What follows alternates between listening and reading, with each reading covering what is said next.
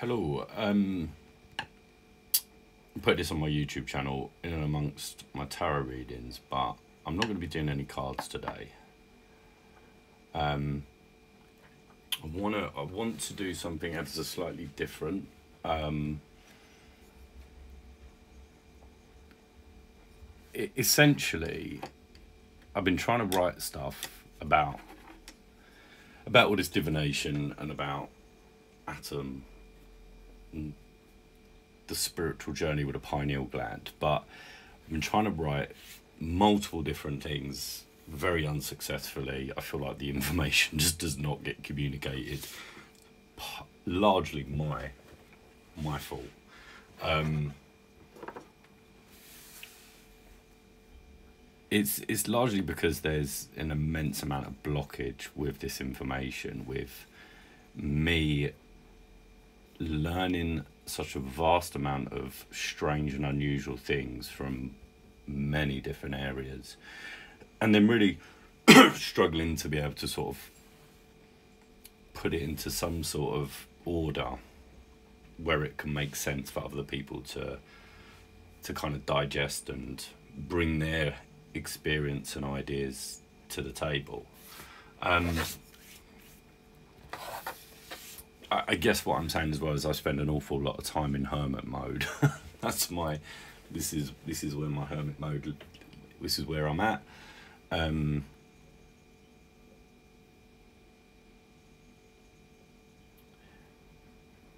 I don't know why I've struggled to talk about this. I really don't. It de- definitely feels like the information, a lot of the information that I've been given when I've raised it with people, you can just see the, their minds kind of just spinning in confusion and chaos. Um, and also largely disagreeing or wanting to challenge certain concepts and, and ideas and stuff like that. Look, the, the most important thing to begin what I'm about to say, look, this will, this will may be completely gobbledygook and jarbled and I may not even post this. We'll see. Um,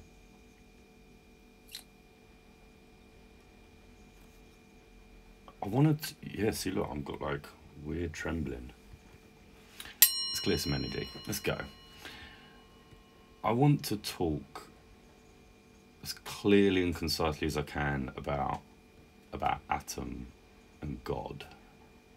Now, before I dive into this, I just want to quickly paint a broad kind of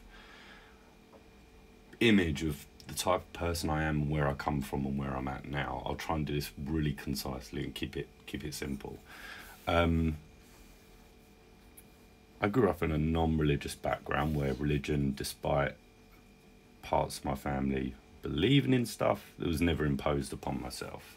I was always led to discover things myself, and there was never any pressure to to be pushed onto any type of religion. The point being is, even at a very young age, I really disliked religion. I didn't like the stories. I didn't. They just felt that they weren't steeped in any level of reality or anything that I could tangibly get a grip of. I grew up, you know, not believing in Christianity or Judaism or any of that, despite learning and, and being, you know, taught very basic,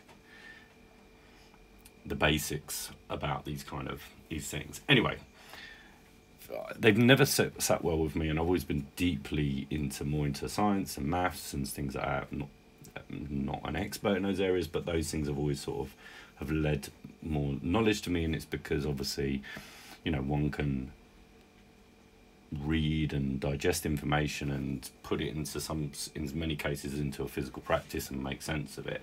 And especially when we're looking at the world and the universe and trying to discover the the, the many great grand questions and the mysteries of life what we're here to do the planets the solar system the universe all this kind of stuff. Um, I, I was careering through my life um, I've had a very fortunate, been very lucky in my life. I've been able to have various different kind of successes in in some really cool career like industries and stuff. I've done I've, I've achieved a lot of cool stuff. Um, failed a lot as well, but learned lots of lessons along the way. But the point being is that for the majority of my life, I was going through life just with complete severance from any kind of level of spirituality. The very concept of tarot or wands or magic or ancient Egypt never really entered my head. It's not something that I was ever really into, especially with stones and crystals and stuff. I would, you know, but a few years ago, I'd balk and mock those who who engaged in this kind of stuff and would write them off with my mind, analytical mind, criticizing them that, you know, that this is all made up, there is no evidence, there is no physical proof, etc., etc. I'm going to mark that and call that as ignorance of the soul. There's an amazing chapter about ignorance of the soul in the Hermetica, but it talks ever so slightly differently about that. But it's the same thing um, many human beings they are ignorant of soul because they just have a complete severance from it and like that there's a there's a physical argument for that. This isn't just an opinion based thing um, and this is something that i strongly urge and encourage anyone to do. It's very easy. It's a very simple personal experiment you can do with yourself.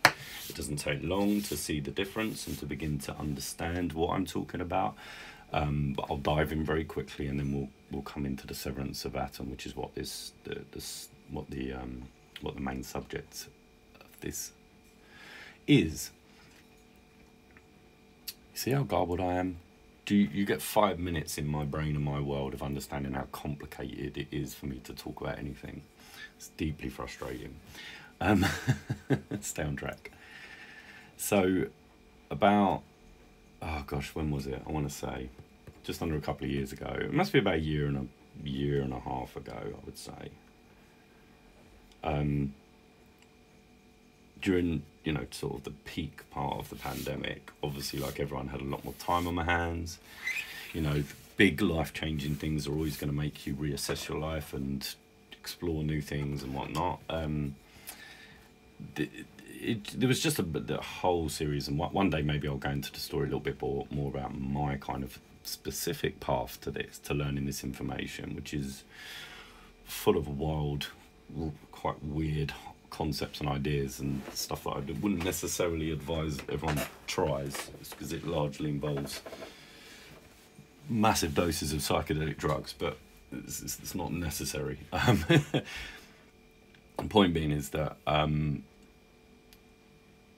I just I don't know I, you know I'd, I'd always been kind of fascinated with with I guess conspiracy based stuff or, spiritual based things like Ouija boards or played with those as a kid and all that kind of stuff.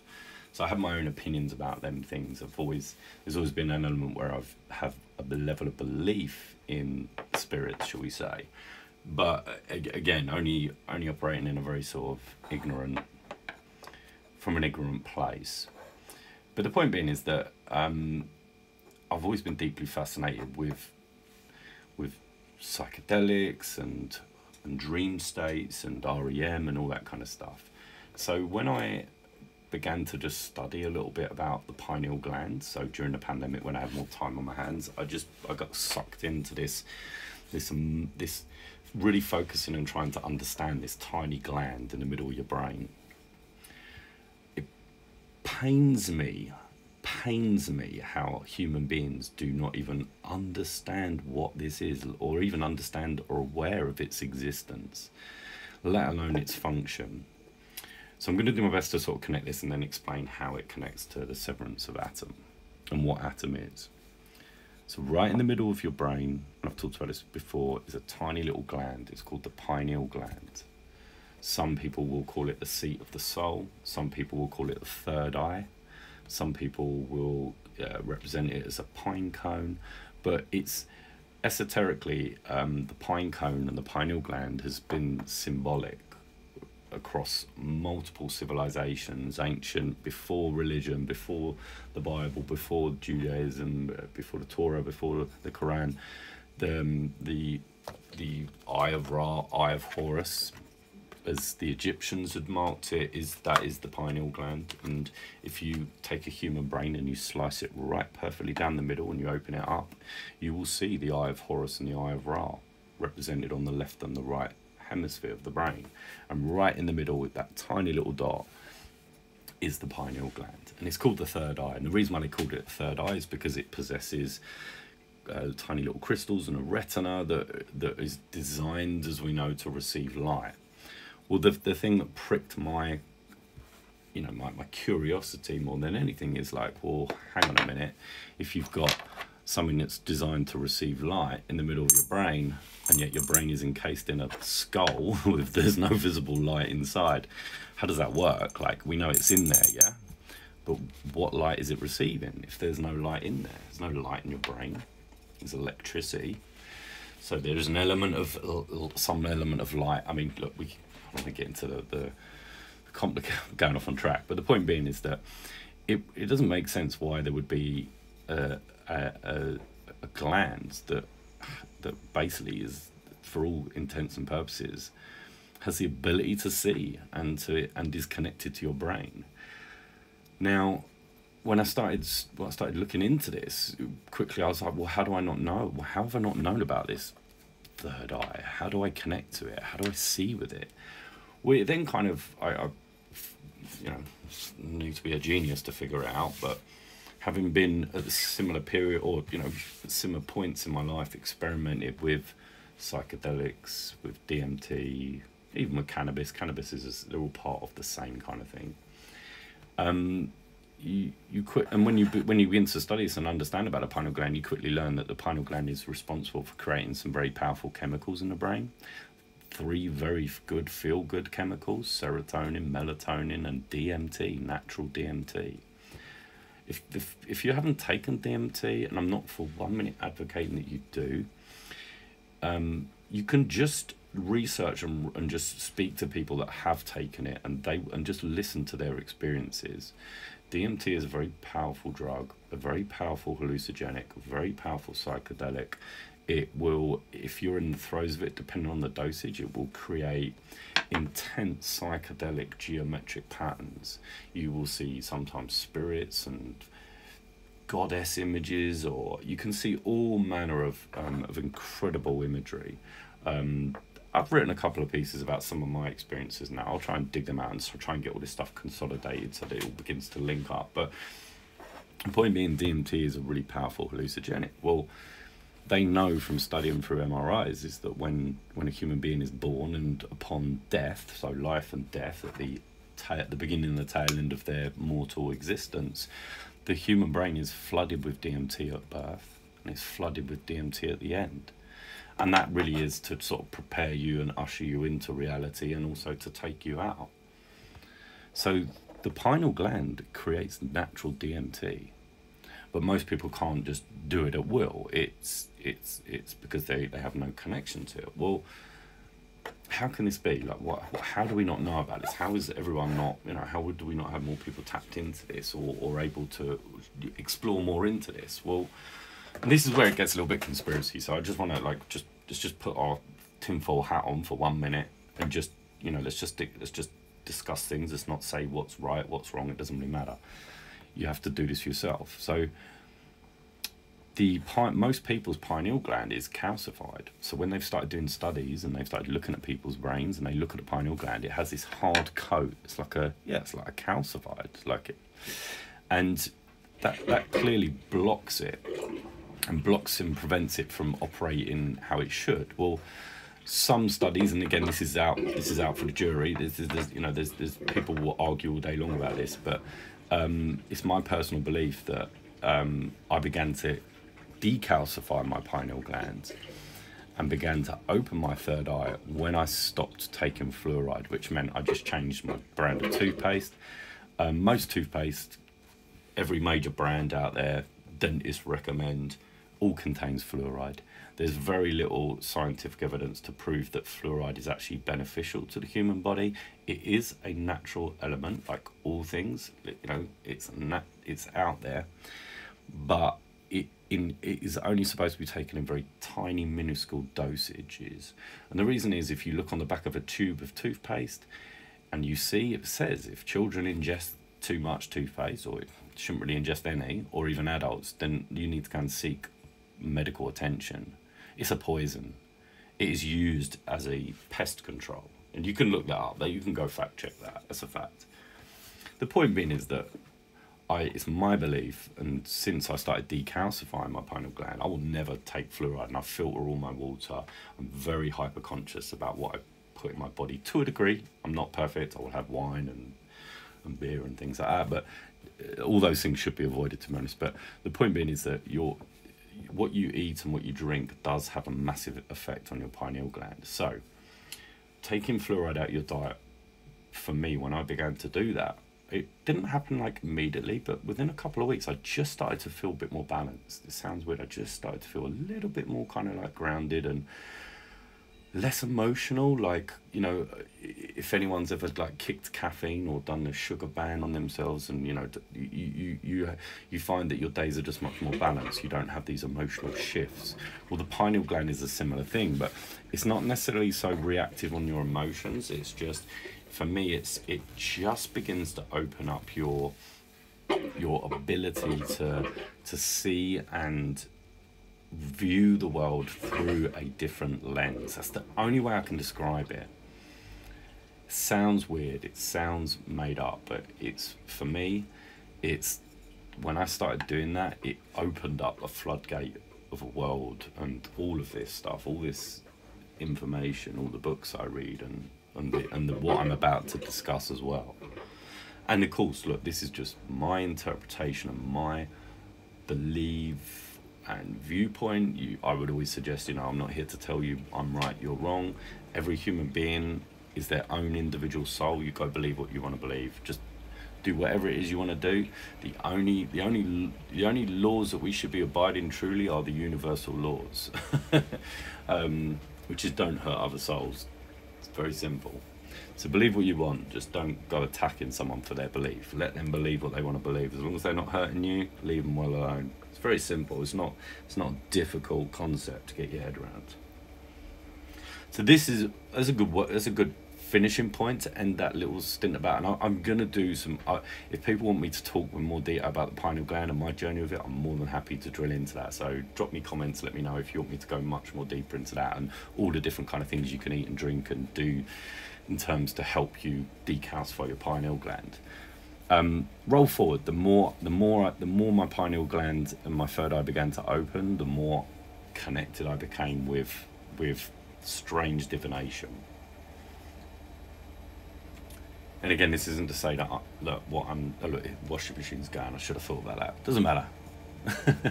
um, so apologies for the noise. Um, yeah, we're gonna go through this. I'm not. I'm not. I'm not gonna let it distract me. He says. So, decalcifying the pineal gland changed my life.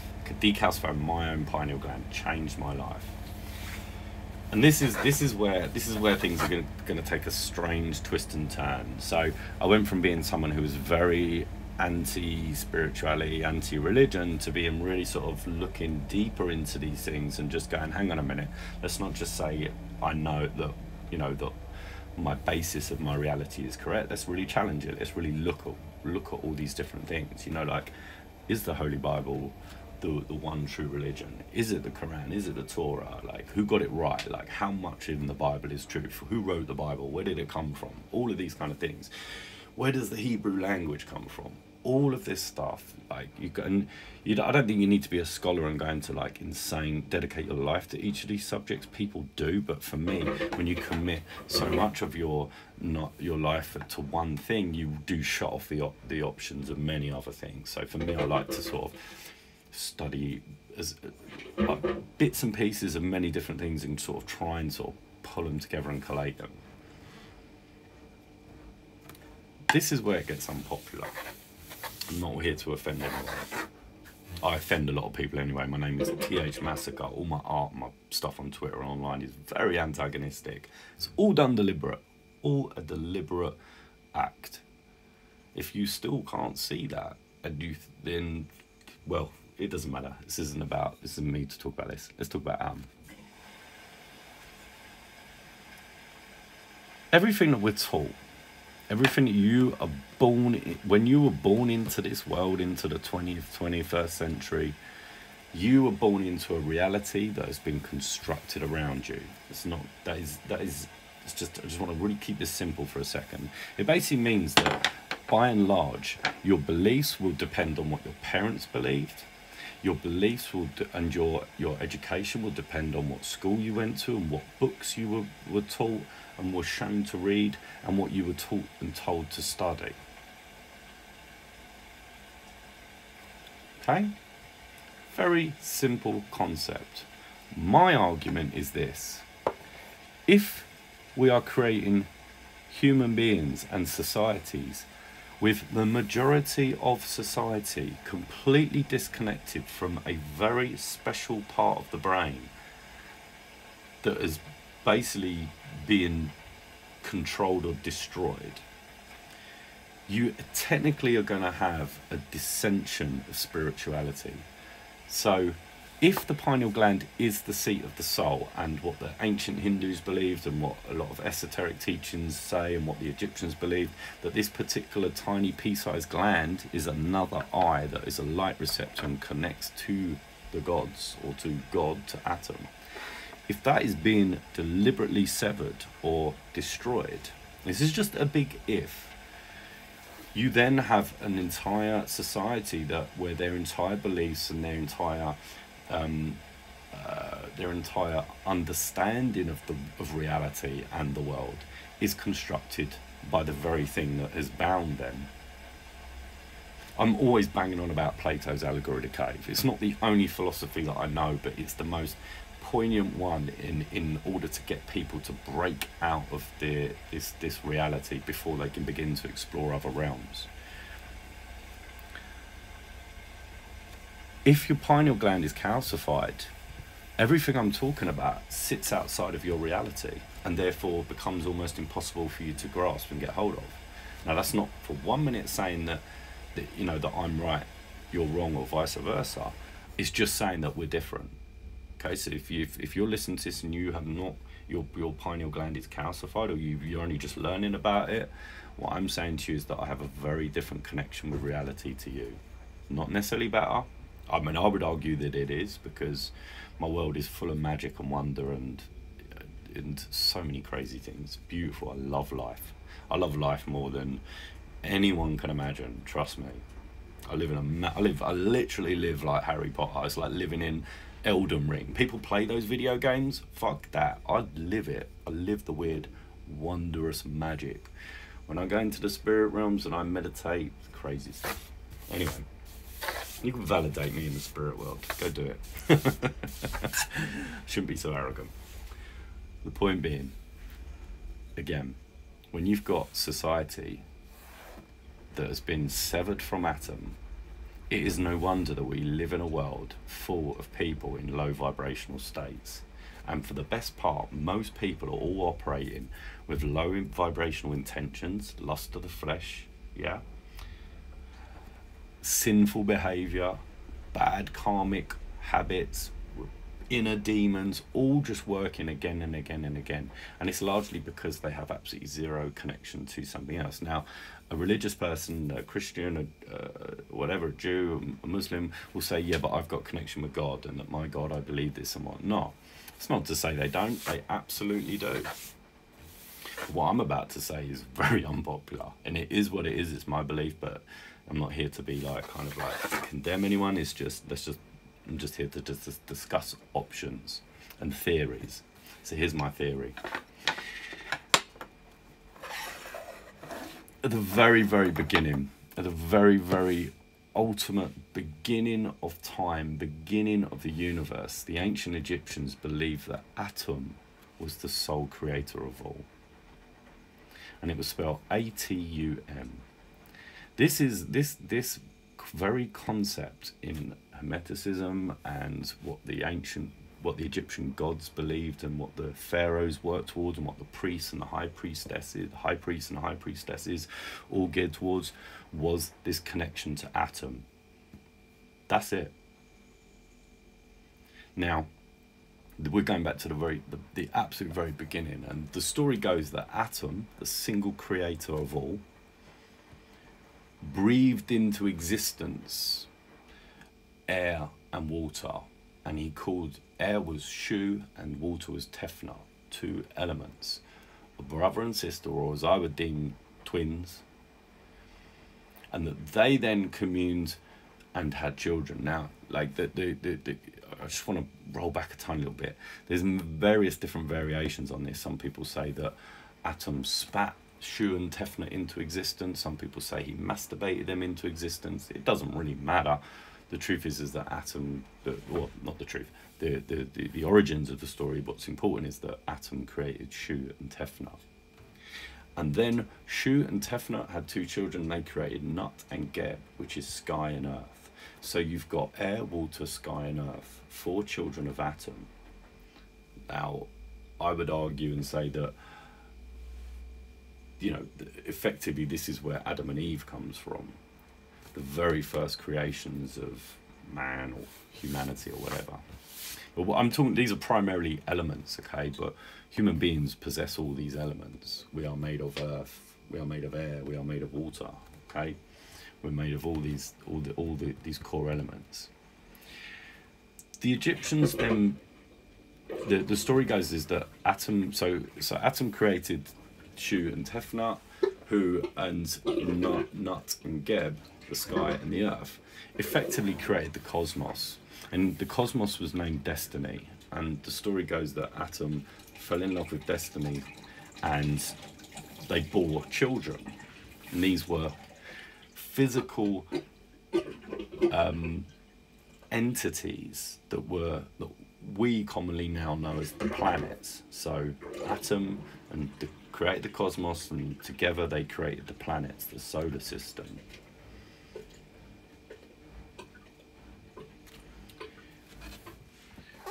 human beings now looking at this as just let's just take that very basic concept okay?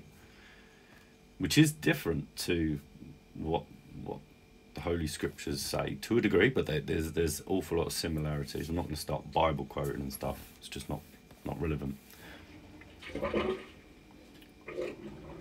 with this very concept, human beings, modern human, modern man, and I, am going to use the word man. I mean men and women, right? Humanity, okay. But modern, uh, let me let me stick with humanity.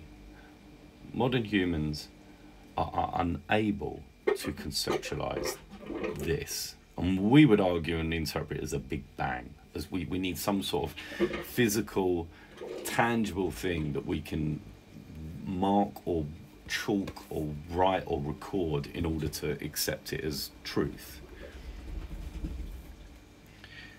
But the reality is, is that the ancients knew something really important that we still have not understood.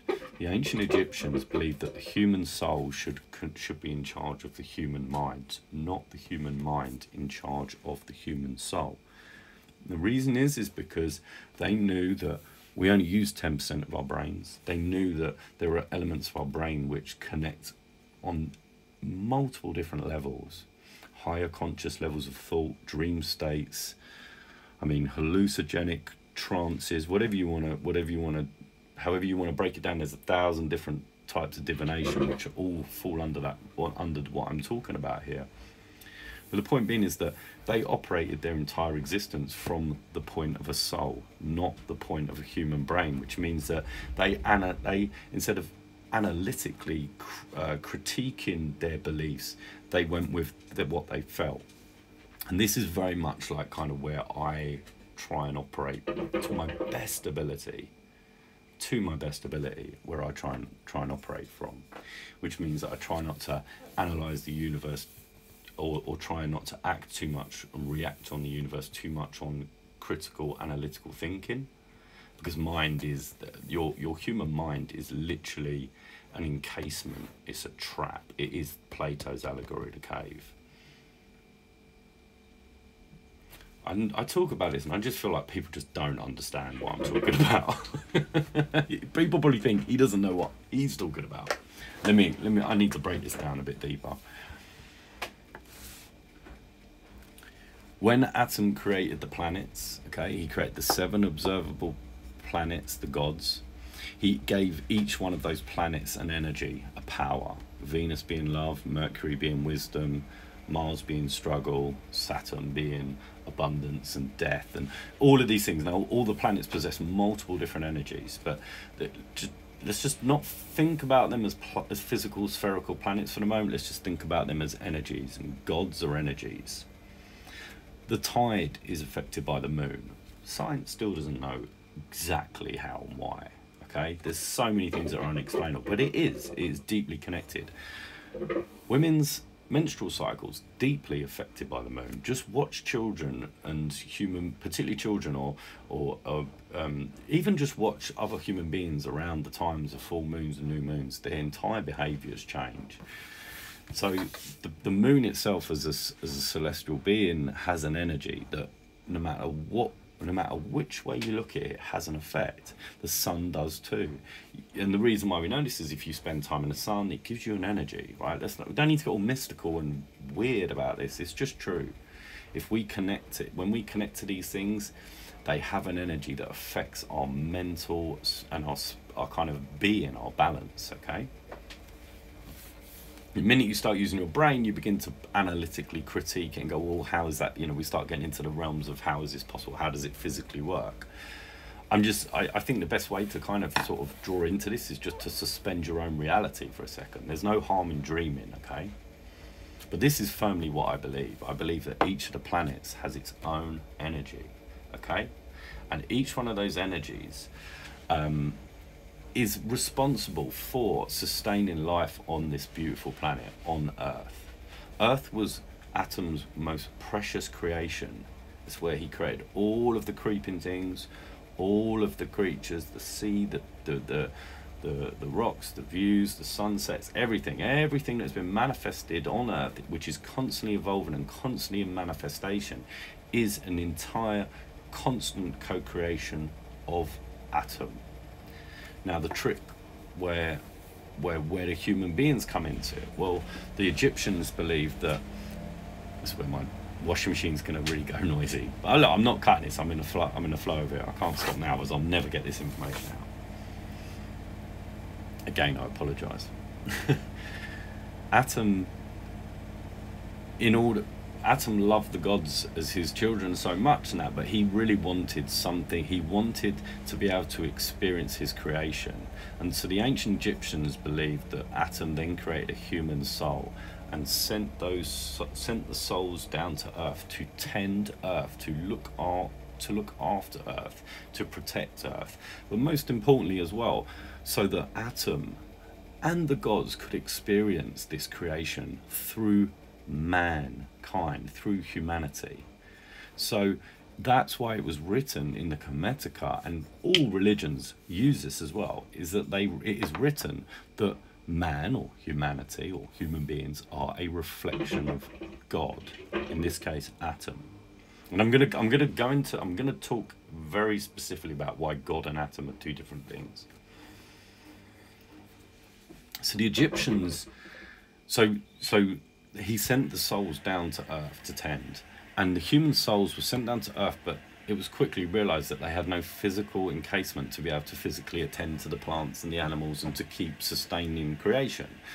So, Atum gave man a body, gave human man, men and women a physical being, a physical shell in order to experience. Now, he also knew that in order to he knew that the gods the planets because they had so much powerful energy that they could be ruthless with and also jealous of earth being the most kind of beautiful of the planets Atum knew that there, there would be times in the future where the gods would fight or war or try and draw more energy from one another. Um, so Atum, Atum made the gods each gift one of their their powers to human to human beings to human souls so he in hermetica it was written that Atum then commanded the gods to gift man or human, humanity each one of their energies each one each of their powers the gods were not happy with this and they argued with Atum and said if we gift man our powers, man is an inquisitive creature. He will want to know where they, where, where they. I keep saying he, but it's just because it's how it's written in the Hermetica. So I don't, I don't mean to like be offensive. It's not. This isn't about. This isn't about men or women being any different at all whatsoever. I, I, I just, man is is humanity. Okay, man, man is not of gender. Human souls are both genders. I'll talk about that maybe in another video. So don't get all don't attack me because I'm saying man when I man is humanity. I can't ex, cannot express that enough. The very concept of human beings being split gendered is that is down to your religions and poor information over the past two thousand years. Back on track. So the gods argued with Atum and they they didn't want to do it. So Atum knew that the gods were not going to gift human souls the, these energies. In order to appease the gods, Atum then came to an agreement and said, I will create a mechanism, a complex star system that prevents man from using all those energies and connecting to the heaven, connecting to heaven and becoming a god on earth. That that's effectively what the gods didn't want. They didn't want man, mankind, humanity having that power because effectively, if a human being was able to connect to all that energy, they could potentially co-create and man. Well, they could they could it could just become too powerful, and it could become a god on Earth and create destruction. Again, suspend reality. suspend your reality for a moment. So Atum created the zodiac and the zodiac is a very complex, ever changing system of energies that locks man in a physical mortal prison on this earth. It literally prevents man from reaching above the firmament. So before I go into the firmament, I just need to explain this, the, the seven realms of, of heaven or hell, however you want to decide it. The seven observable planets, and we'll talk about the greater, grander universe in a minute, but the seven observable planets circle the Earth, moving around, creating and shifting energies. And if you look into astrology and your birth chart and all that kind of stuff, you can begin to kind of understand a little bit how human beings are also different, how the time you're born, depending on where the planets are placed, will pretty much dictate your life. So that is why I'm always saying it's written in the stars. So your very existence and, and being, your right now, it was individually created as a human soul.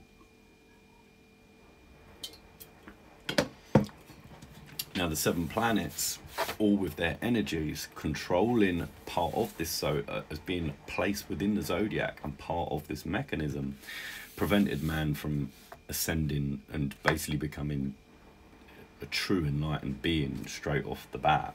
It basically meant that in order for man to ascend, man would need to divinely connect all these energies uh, in order to ascend to heaven.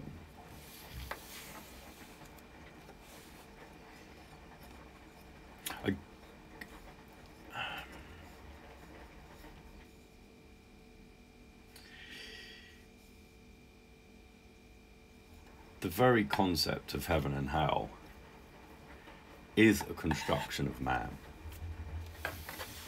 It was never really written about with the, with the very the very old ancient Egyptian understanding of, of what happens when you die. The old understanding is that a human soul that all human souls are immortal. A human soul is immortal. Human soul, when a body dies, the soul will live on. And it will head up into the spirit realms. And depending on its behavior and actions on Earth, will dictate its next stage in its next journey. But the time you're alive on this planet is a blip in the duration of your soul's existence. Most human, many human souls are millions and billions of years old. We were there at the very beginning of creation. We just don't remember or have access to it. That information is greatly severed.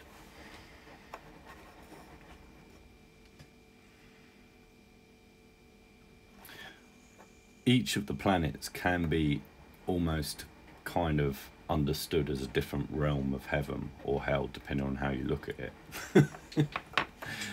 Saturn being the furthest observable planet, the coldest part of the solar system, the furthest point, is the lowest realm of hell. People aren't going to want to hear that, but it's true.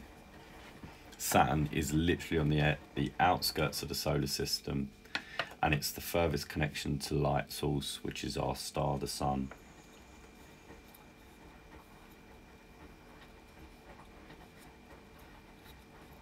It's a dying planet. Some people, I mean, there's many theories about Saturn and what it represents, and it's a failed star and all that kind of stuff. The point being is that each one of these planets is your seven chakras. They are all connected in one shape or form of another. And the Egyptians used to worship the gods. They worship the planets. They just gave them different names. Okay, Mercury, Venus, all of that is all is modern names. Okay, so Mercury, the Egyptians was the, the was the god Thoth. So human souls knew that by connecting to these planets and offering, praying, worshipping to them, they were able to tap into those energies. Now, what I think many of them, many human beings have failed to understand is that when you're connected and you're operating within the level of mind, you're not connecting to source, which is Atum. So, the Egyptians, when the very, very early part that we have no documentation, therefore I have no evidence, only my ideas and theories. The very belief is that when we go back to Shu and Tefnut and Nut and Geb, those were the purest early creations of Atum, and they were the the the our closest connection to Source. The dissension of mankind started then. It literally just declined and declined and declined, and has been on a on a descent ever since. And the reason is is because as man has from the very first human being that was on this earth, whether you believe they're a caveman or an Egyptian or a Sumerian, it doesn't matter, or an Atlantean. every single existence, every single soul, every single birth and death, every single impact on this earth through shared stories, knowledge, wisdom, writing, education, it has all been fettered by human mind. Me talking and doing this video right now is being fettered by human mind. I, it's almost impossible for me to just put my soul on this on a slab in front of you and show it to you. I would want to do that if I could. This is the closest I can get to explaining this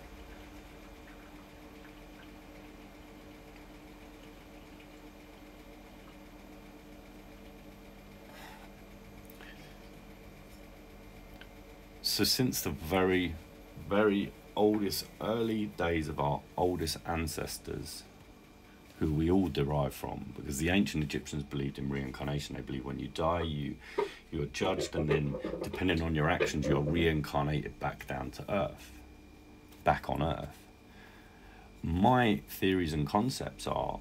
Uh, it changes, but because obviously I don't like to lock into anything, I'm always looking to discover and trying to learn different ideas and theories. My belief is that if, as a human being, you, depending on your behavior and your attitude and most importantly your your actual connection with source if you remain ignorant of the soul and you don't have any connection with soul and let's just take it a step further and say that you engage in extremely depraved low vibrational behaviors, when you die, you will not be reincarnated as another human being. You may be reincarnated as an animal, and thus the descent of man continues, making way for fresher souls that have a better opportunity to exist on this planet and bring something to it. Atum is not going to allow demonic, low vibrational people to continue to continue to continue their existence, damaging his creation. If you go against the creation of God, I'm talking about people playing God, okay? People who are fettering with science, fettering with humanity, DNA, all that kind of stuff. Those people will not reincarnate again. Many of them will be destroyed. So you look at the story of Ma'at and the wane of the soul, wane of the heart. It's the same thing for me. The wane of the heart dictates where the soul goes, basically.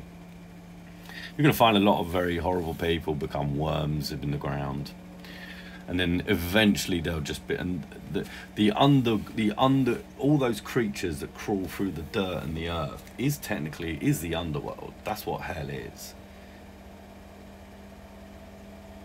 Being a maggot or an earthworm or something underneath the ground in the, the in complete darkness surrounded by critters and creatures and crawling things that is a concept of demonic hell right there so hell, hell exists beneath your feet. If, if you're a creature, for human beings, it's a different concept.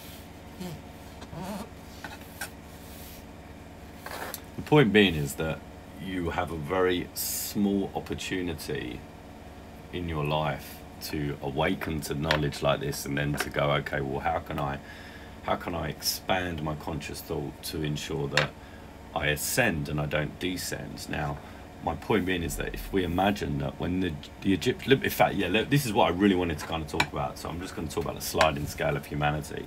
So if we go from source creation of Atum and the planets and the very early concepts of what the ancients believed, as humanity has used its mind more and we've you know we've just delved more and more into practicalities and we've severed our soul we use our mind more than our soul the actual behavior of us and our benefits to this planet has declined. Is that not true?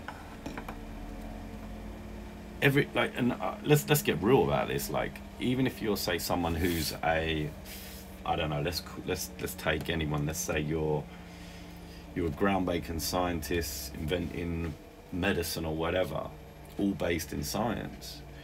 At some cost and level, there is a constant. There, you know, whatever you're creating is is not going to be in its purest natural form. You are manipulating, trying to make people live longer, you're trying to intervene with nature, as it were, but also, more importantly, you are um, you are using mind and not soul. So we are we're not it's it's a it's a it's an illusion that this is a this is this is a this is a pathway to, to good. I don't know if that makes sense to people. The point being is that everything that mankind is humans are creating has done nothing but decline nature. Look at the world we've created. We're tapping the resources. We're digging and drilling for gold and oil just to consume stuff for ourselves, for our own gains, to with very little benefit to the cosmos. That is a dissension. And especially when you factor in that science becomes the religion and maths and that people only believe in those things and they don't believe in spirituality, you've severed you've severed from Atum. Now I believe, and this is this is where it gets ever slightly controversial, and I'm in constant disagreement with those that I channel information through, and I, I'm I'm uncertain myself, but it's very possible that the very that the ancient Egyptians a civilization that reigned for many thousand years that is still argued over, and no one truly knows how long that civilization lasted. But it was the one of the longest reigning civilizations, are uh, without a doubt. With the dissension of the Egyptian civilization, by the time the ancient Egyptians got to the tail end of their dynasties, their practices and their magic and their connection with God was being severed they lost a connection with the gods that they once had prayed and worshipped. Now, I'm not for one minute wanting to start to get into a discussion about, oh, these people were barbaric with human sacrifice and all that. There's no doubt about it that those practices were engaged in many civilizations, ancient and all over. What I'm trying to say is that at the very, very beginning, at the very purest form, that was not the done thing. Human beings were in a pure divine connection with Atum. They knew the laws, they knew the will of God, will of Atum. They knew that the gods were were no more than a mechanism of energy to tap into. They were a resource, not a defined thing to be worshipped. Well, the ancient Egyptians, if they were connected to source and connected to Atum, they had an understanding that was a, a direct connection to the co-creator, to the to the original source of all. What happened though was that the ancient Egyptians lost their connection to Atum and the gods reigned supreme. They began to worship the gods more and more and they were severed from Atum. Now, to the point where the ancient, where Egypt declined and declined with its morals, its behaviors, its all of its value of money and value of human life and value of animal life, etc., etc. By the time we get to the point where the Greeks and the Romans come into play, and you know there was a very definite war against trying to take Egypt down, this great civilization. The Greeks and the Romans just adopted the gods that the, the, the Egyptians worshipped at that time. Think about this. We're talking about, if we're talking about the, the Egyptian gods at the very latter stages, the last, let's say, 1,000 years of their reign, even if we break it into a few hundred years, 600 years, it doesn't matter.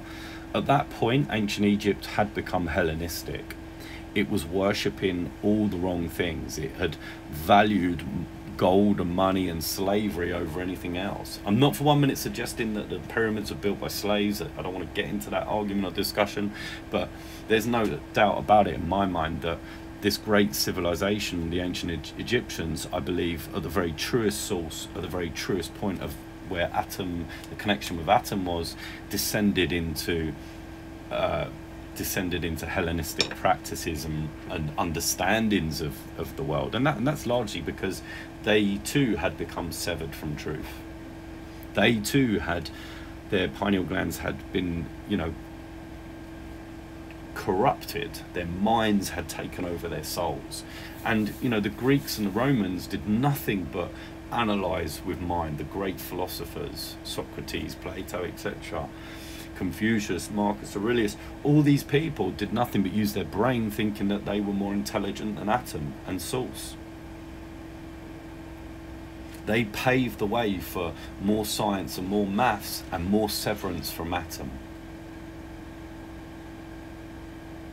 The severance of Atum has been going on for thousands of years. It was already, it happened before the Greeks and the Romans took over.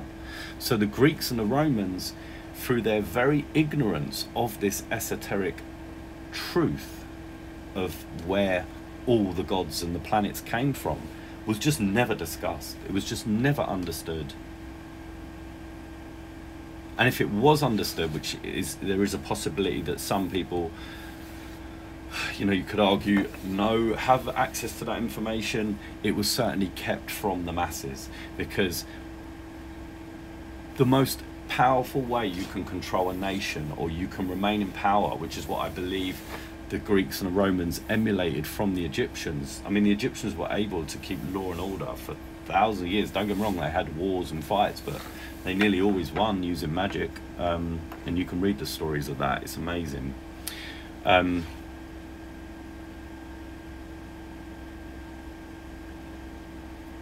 the, the point being is that the Romans and the Greeks, despite thinking that they were high level, and even now we look back at their architecture and their sculptures and their paintings and the art from from yesteryears or from these periods with with absolute awe and wonderment and I guess we revere them so much.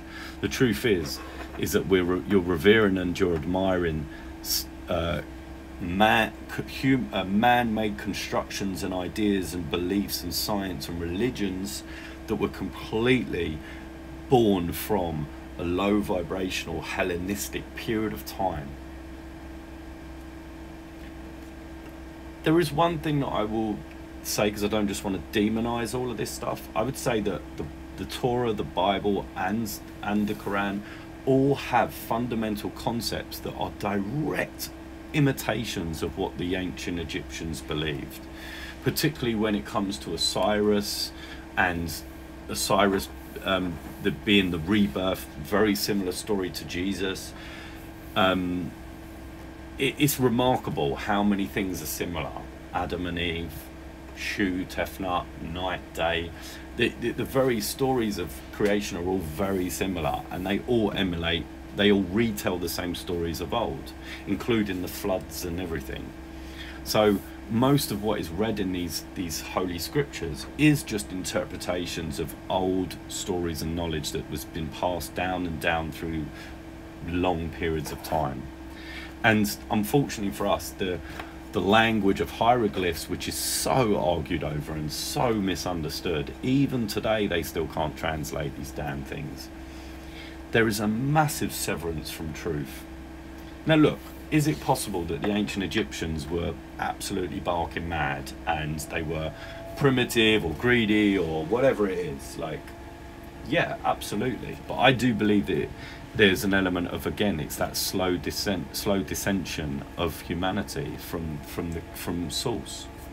Now, I don't think that that that you know like we we just draw one line graph and say that every single human being is on a decline. I don't for one minute believe that. So sorry about the washing machine. It is what it is. I just come back from a trip with um, to the seaside with my, my my family and my children. There's so much washing to do because the sand and everything. But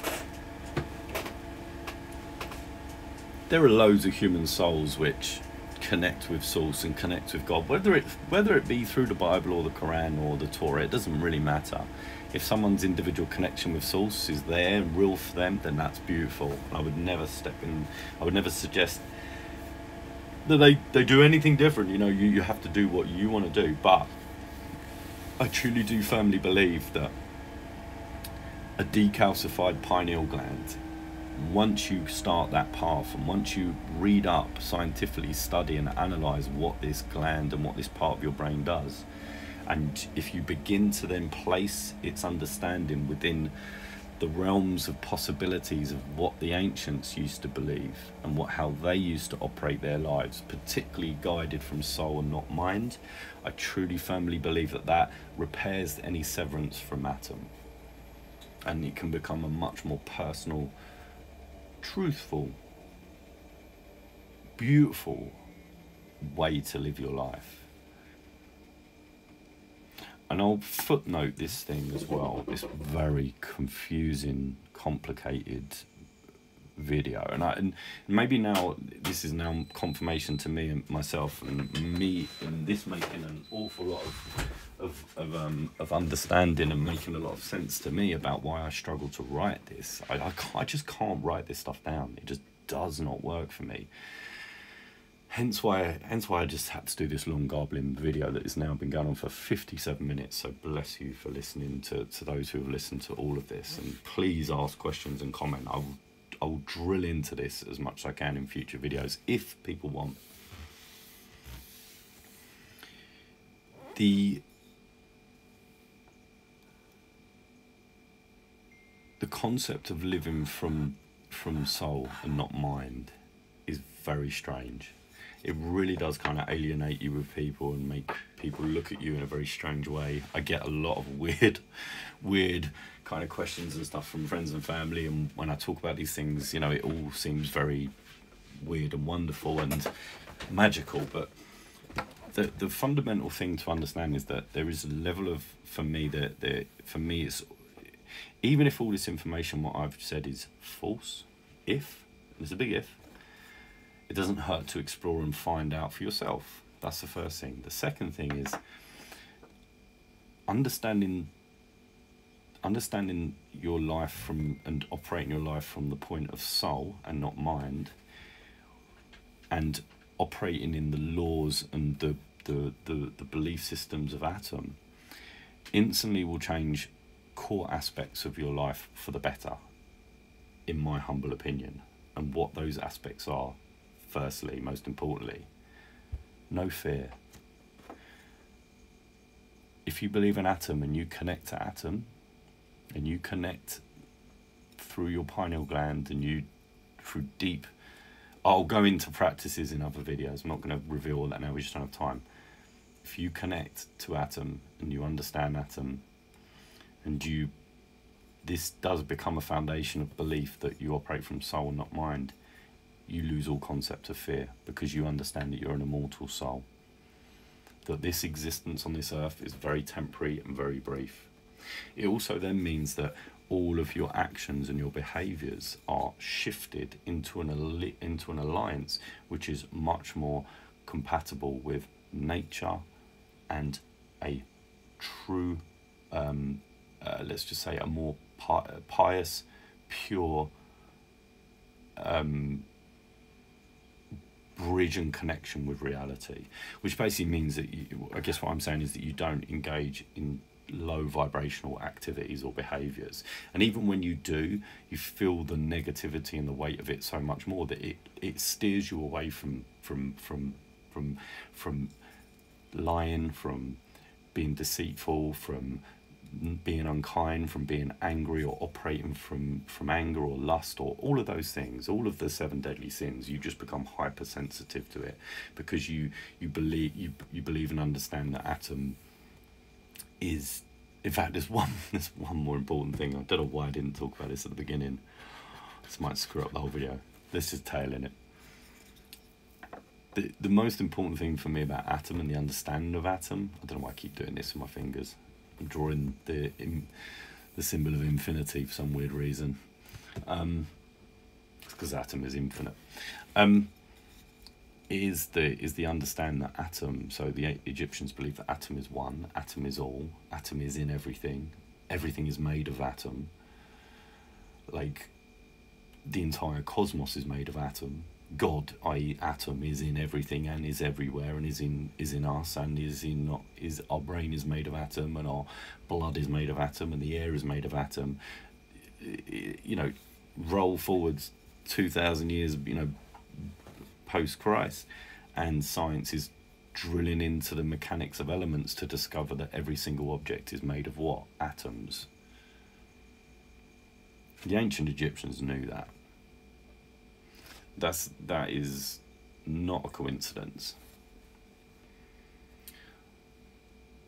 For me, that single understanding that when you think about it, it basically means that this entire wand is made entirely of atoms. So it is made of the very fabric, the very. And atoms, what are atoms? They are just non, they are immortal, limitless, um, endless uh, um, particles of energy. That's what an atom is. Atoms don't die, they will forever just vibrate. And you, we can change the, the atoms can atoms are always the same, but the, the, the form and the position that they are in geometric, geometrically will change the consistency, whether something is solid or a liquid or a gas. But atoms are in everything, so everything is connected. So this wand is connected to me, and I am connected to the air, to the ground. It's all ultimately connected. So you watching this now, there is a very physical connection between us even if you can't see it, it is a physical connection through atoms, through the device, through every single compound and element that is connected between me and my voice and you. And when you go into, if you want to go into like kind of layers of this, you know, you, you begin to understand that uh, the atoms, you know, being everything that we're producing is just energy, and that is contained and it will continue. It will live on everything you do and say lives on and has an impact on the world, even if it's a tiny amount. But yeah, the, so, so, so, so Atum, the belief that, you know, and this is where other religions struggle, you know, to, to sort of scientifically explain it, is it makes a lot more logical sense than when you say that God is everywhere. God sees all and hears all and it feels all. Because the ancient Egyptians believed that Atum, i.e., God, was in everything. The gods being the planets and Atum being the sole god, the sole creator of oneness. I haven't even, I've realised now that I'm finishing up this, I've realised there are so many aspects of everything that I've talked about that I could drill in deeper and deeper. But again, this is all ideas, thoughts, concepts. It's definitely something where I would say that from point of being that the more I look into this and the more I understand, the more at peace I become, the happier I become, the more productive I become. maybe not in writing and doing art, but yeah, maybe. um, if any of this information connects with you or you're interested in learning more, do let me know because I would like, I might do more videos about this. I'm hyper conscious that this stuff that I'm talking about, firstly, I'm not even, there's lots of stuff that I'm not permitted to talk about. There are several things that I will never speak of because it's just not, you have to, it has to be discovered by this, by the individual. The, there, there are rules to this and there are layers to this and all the people that talk about astral projection and soul connections and all that kind of stuff there are many many layers to this. Many many layers.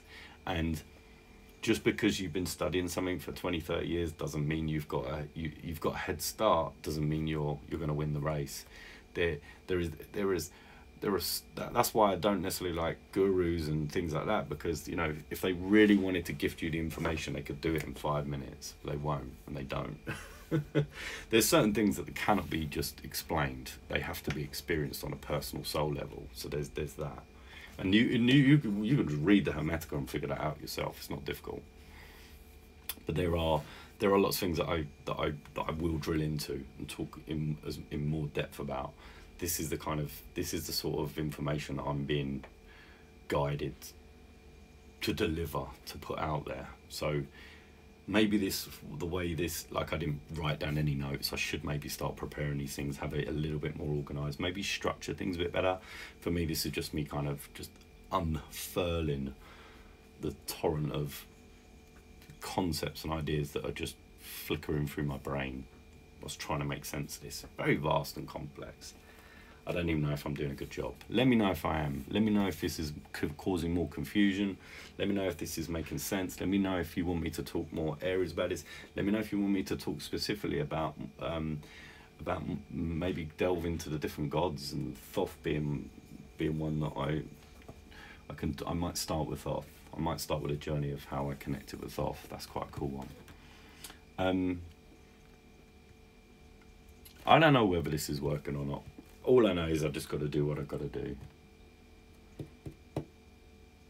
I hope this information has been helpful to someone. And if this does resonate and does connect, definitely follow my tarot because it's all connected. Check out some of my art as well. It's not the weird, crazy stuff, conspiracy stuff, but check out some of my art. I'm going to start bringing and creating more writing and art and more videos like this that hopefully all tie together to begin to sort of paint a picture of, of, of a one potential uh, not one, but many different ways and paths where other human souls can begin to connect with their soul or this connect to spirituality in a healthier, more meaningful way without it ending up down some dark realms where things get a little bit Hellenistic. Um, yeah, I'm out.